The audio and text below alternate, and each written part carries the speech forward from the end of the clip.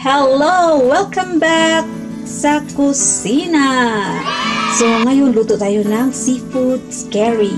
So, may bawang, luya, at sibuyas.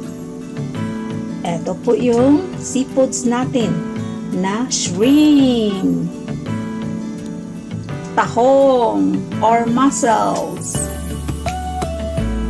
crabs, na chinap na siya no into 4 pieces. Then, lagyan din natin siya ng mais. Mais or corn. So, lutuin muna natin yung uh, mais before natin siya ihalo sa seafoods natin. Ayan na po, kumulo na yung tubig. So, pwede na natin ilagay yung mais. Para mamaya ready na siya ihalo sa ating seafood scary.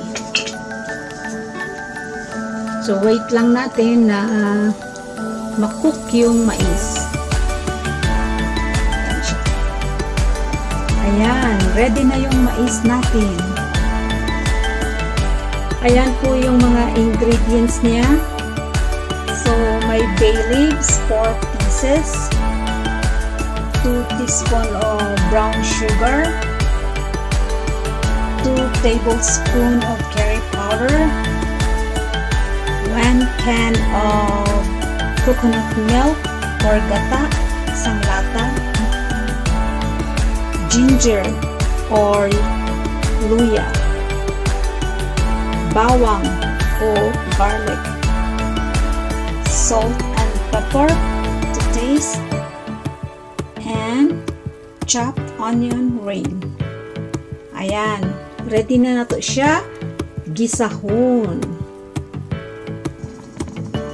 Now, yung oil natin or vegetables oil or any oil, no? Cooking oil. So, wait lang natin na mag-ano siya, mag-init, no? Or maghulata nga mainit ang atong mantika. Now, ready na yung mantika natin na gipainit, no? So, fry the ginger. Ayan. Then, the bay leaves.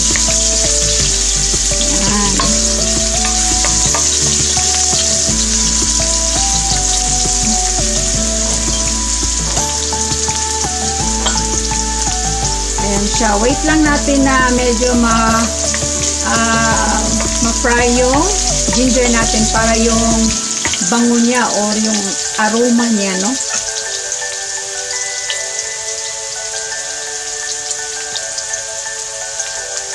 Then the onion.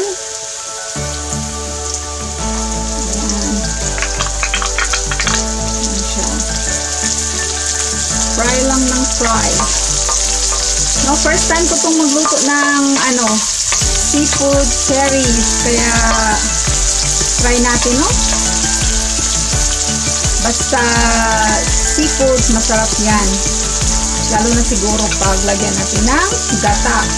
So, sa mga fan ng gata, fan ng mga coconut milk, okay to sa inyo. Sunod natin yung onion or Then, yung garlic.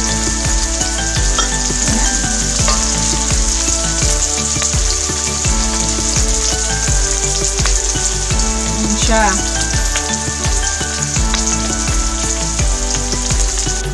Ayan, medyo brown na yung mga ano natin, mga lamas na ginisa. So now, pwede nating ilagay or ibutang ang curry powder. I-mix mo pang. Tapos lagyan mo ng konting tubig o water.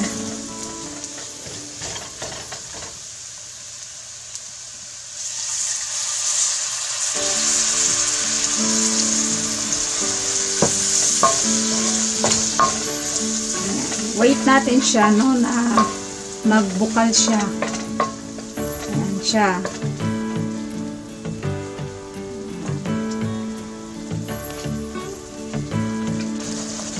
Ayan, ready na po siya. So, next na natin yung crabs. Ayan, si crabs.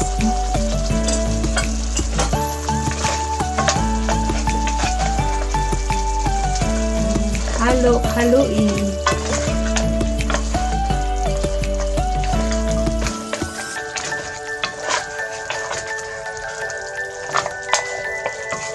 Then, salt and pepper.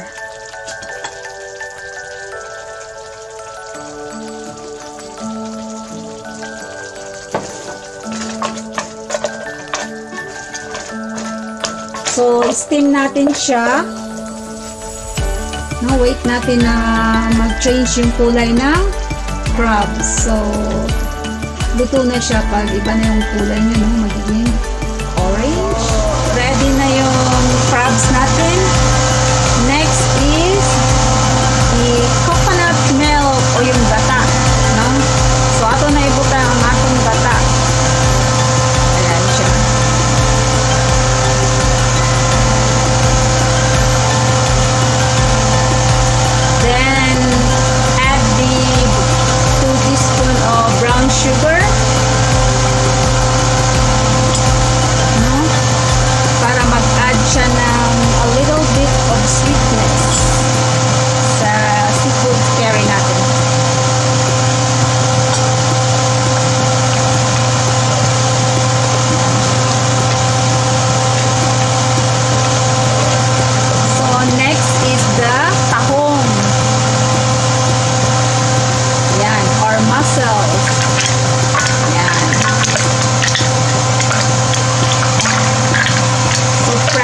Russia.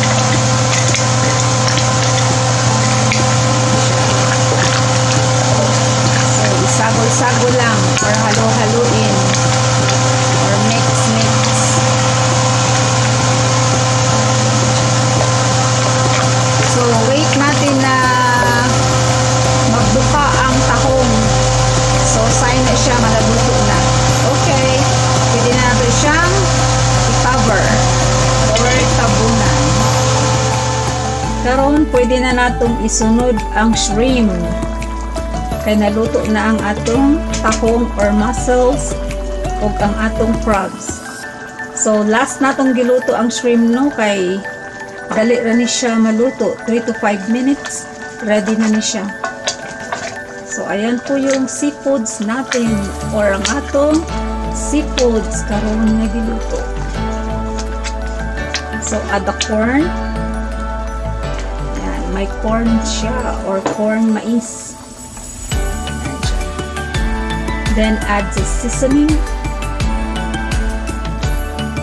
So, shout out pala no sa taga Barangay Tejero, Cebu.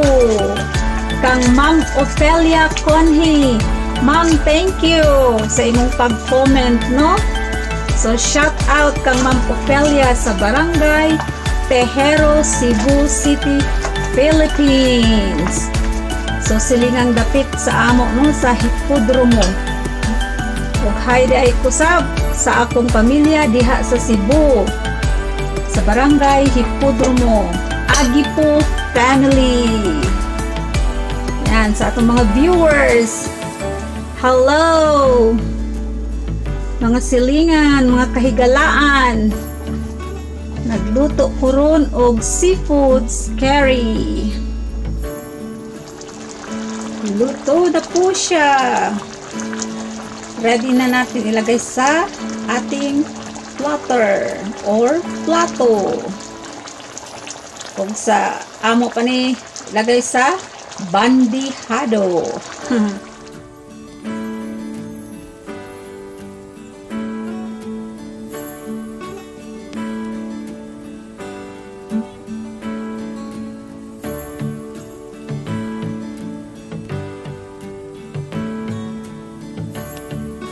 na po ang aking seafood curry.